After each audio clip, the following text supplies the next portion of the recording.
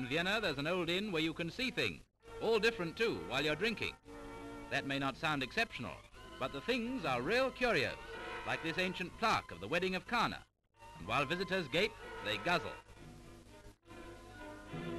This is a 16th century silver cup. Cheer, old man. And this, an 18th century wooden basket.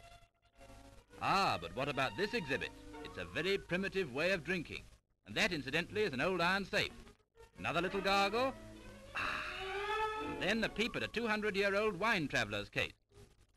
Wine, I said, and why not? Oh, these jugs ever so old. This big uh, jig bugs big elephant. And very good flour so was too. With a free ride thrown in. After you've been thrown out. Home, James. Who's drunk?